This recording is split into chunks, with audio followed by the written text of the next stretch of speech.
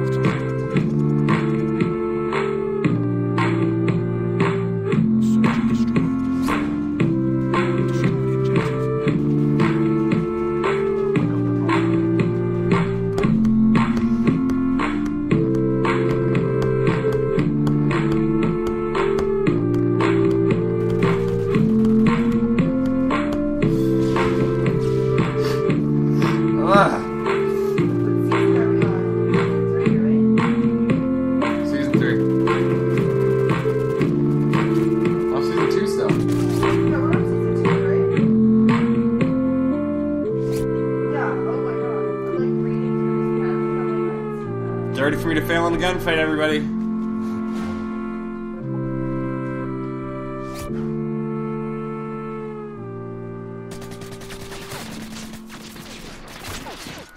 We lost that round, but it's not over yet. You get ready for the next one.